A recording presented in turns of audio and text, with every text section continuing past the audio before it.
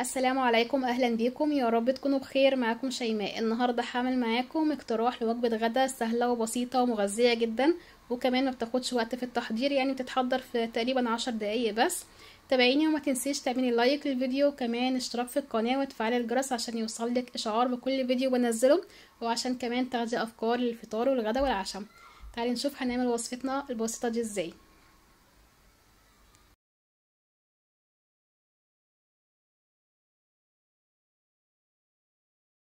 الوجبة عبارة عن خضار باللحمة المفرومة في الفرن. أيوه الجو حر وبنبقى محتاجين حاجات تيك اواي كده بسرعة حاجات باردة ومش ما تاخدش وقت. بس طبعا ولادنا محتاجين إن هم ياكلوا خضار آه لا غنى عن الخضار في الصيف وفي الشتاء في أي موسم يعني. آه فهي خضار باللحمة المفرومة. طبعا بتقطعي كمية الخضار اللي انت عايزاها ونوع الخضار اللي انت عايزاه.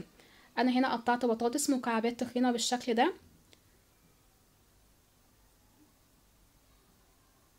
وقطعت كمان بصل وبدنجان يعني اللي بقطعه بحطه كده في الصينية. قطعت بقى بصل برضو مكعبات. البصل بقى ممكن تفرميه في الكبه أو ممكن تقطعيه مكعبات صغيرة أو كبيرة زي ما انت عايزة. أنا قطعته بنفس حجم الخضار اللي أنا قطعته. تمام؟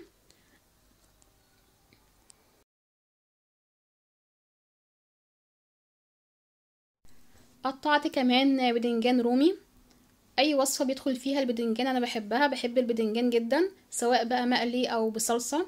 وإن شاء الله قريب هعمل لكم وصفة مسقعة دايت هتعجبكم جدا.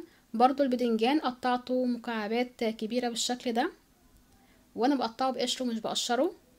وده طبعا حرية شخصية يعني ممكن تقشريه وتقطعيه.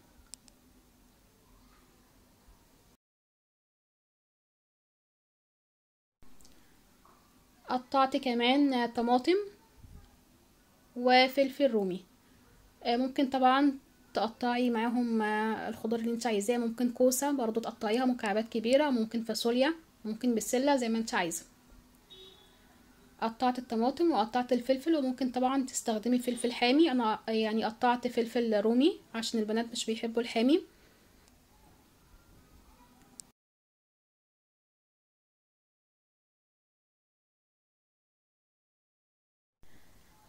أنا استخدمت في الوصفة لحمة مفرومة. أنت ممكن تستخدمي لحمة مكعبات زي ما أنت عايزة. ممكن تقطعي القطع قطع صغيرة خالص على قد قطعة الخضار علشان كله يستوي مع بعضه.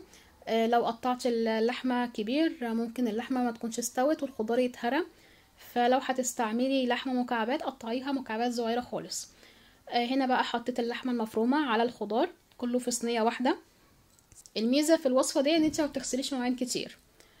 هنا بقى تبلت كل الكلام ده بملح وفلفل وورق لوري وبهارات مشكلة. طبعا بتستخدمي أي بهارات انت عايزاها وحطيت كمان معلقتين كبار من الصلصة الجاهزة. طبعا أنا مقطعة كمية طماطم حلوة. حطيت بقى الصلصة والبهارات وهلم بقى كل دوا أخلطه مع بعضه بالشكل ده علشان اللحمة كلها تتبل بنفس الخلطة بتاعه الخضار.